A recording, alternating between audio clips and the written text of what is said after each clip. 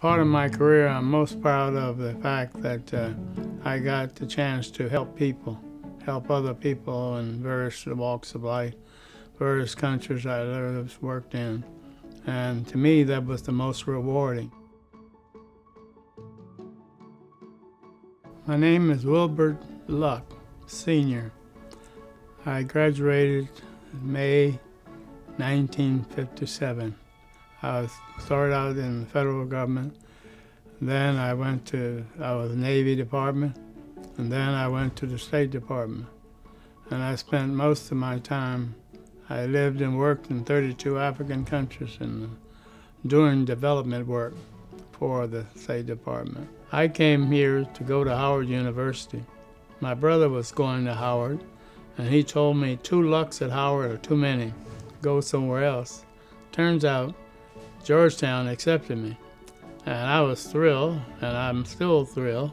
Georgetown, I've always thought of as the best education from Jesuits. And what they did, they taught you how to think and figure things out.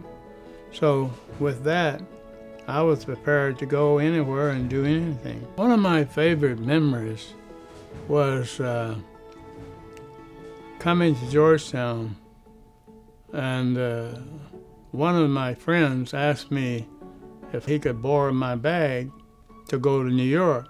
And I said, What am I going to get for that? He said, You're going to get my art, my uh, colors, the canvas, and so forth. I said, What am I going to do with that? He said, Well, you're going to paint. I said, I'm taking accounting. I'm not going to be painting. I'm taking foreign service, so I'm not going to be have time to paint. And then three days later, he says, Come on out. We're going to town. I said, well, I'm sorry, I'm busy painting.